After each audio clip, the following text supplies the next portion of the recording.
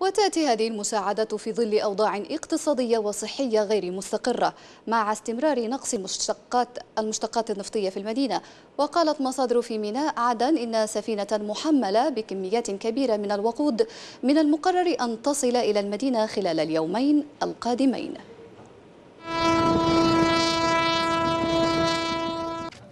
أثارت زيارة رئيس الحكومة وعدد من الوزراء لميناء عدن الأسئلة الاقتصادية المتعلقة بأعرق ميناء في المنطقة.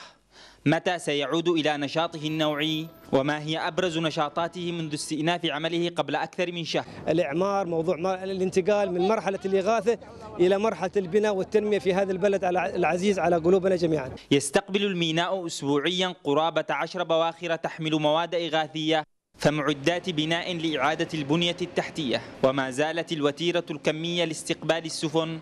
تتصاعد تدريجيا على أن أغلبها تحمل شحنات إغاثية لا تجارية عوضا عن تعذر اطلاع الميناء بمهمة الشحن للبواخر التجارية وسفن النقل. أن تشير له هذا هو ميناء الحاويات مجموعة السفن الكونتينرات تقريبا أكثر من سعة 75% الآن المساحة مغطاة بكونتينرات معناتها هناك نشاط تجاري ولكن النشاط التجاري سوف يتوسع في خلال الأيام والأسابيع القادمة عندما كذلك يتحسن الوضع الأمني. يتعلق ذلك بترميم ما أحدثته الحرب من دمار في البنية التحتية التي طالت كافة المنشآت الحيوية بالإضافة إلى الوضع الأمني المنوط به أي نشاط تجاري. لم يعد ميناء عدن إلى نشاطه النوعي بعد.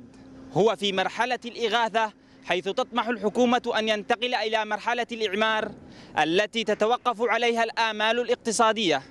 آدم الحسامي قناة بلقيس عدن.